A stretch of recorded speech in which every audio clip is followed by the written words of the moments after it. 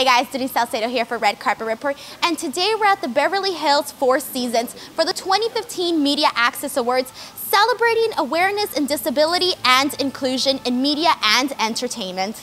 Hi Jamie, how are you doing good, today? good, good, good. Good. You look adorable today. I love your outfit and the pearls, so cute. Yeah, thanks to my loving mother. Nice. so let me ask you, what does it mean for you personally to be here at the Media Access Awards? Uh, for me personally, it's there's a wide variety of, of feelings that being part of it.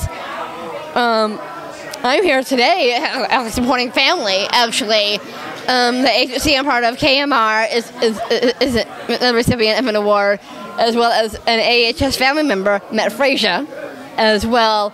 And is a huge congrats to every to every winner in being here and being reunited with, with friends, family. So how does it feel for you to have Mat Fraser being honest, uh, honored today? Well, it's kind of neat actually, because this is one of the things, one of, the many things that I want to actually share with my AHS family, and having an AHS family member here thinking about diversity and things like that is neat that people are recognizing Mat and many others through the through AHS that have a really strong presence.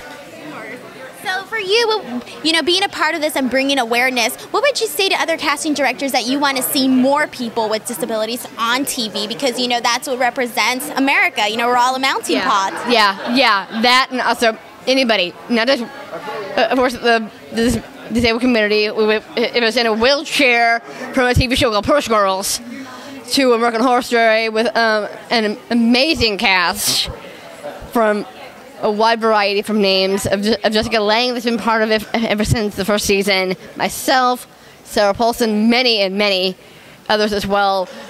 Are they are absolutely phenomenal, as well as the directors.